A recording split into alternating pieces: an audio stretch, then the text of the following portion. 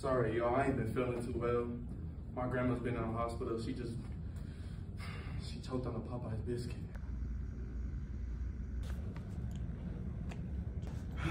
yeah, my turtle also ran away. I don't know. I had him on a leash one minute, and then next thing I know, I looked down and he was gone.